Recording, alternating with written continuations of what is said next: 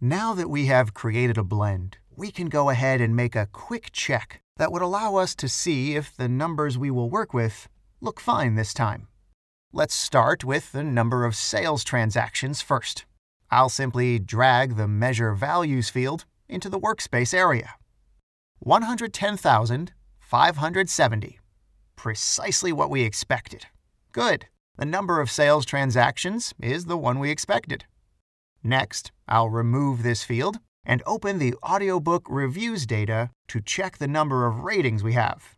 I'll simply drag and drop the rating field. But this time, Tableau displays an error. It tells us that fields cannot be used from the audiobook reviews data source because there is no relationship to the primary data source. We find out our data is not blended yet.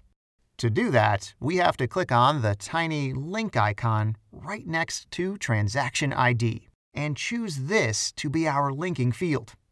The error we observed previously is not going to appear again because our two data sources are properly linked now.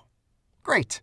This is a field that shouldn't be summed, but counted, as we are interested in the number of ratings left by students and not by the total sum of their ratings.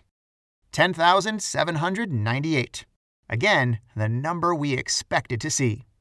It's time for the true test. These numbers were okay the last time too, remember?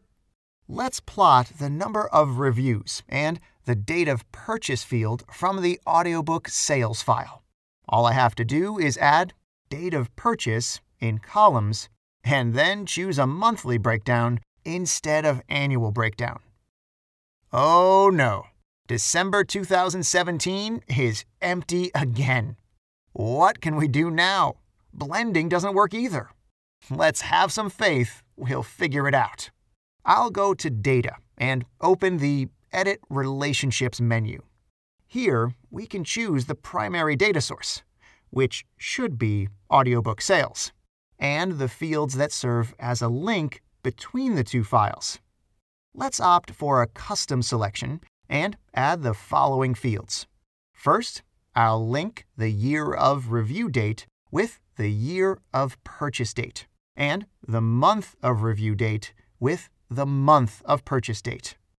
Once we are ready, we can click OK and see if the situation changed.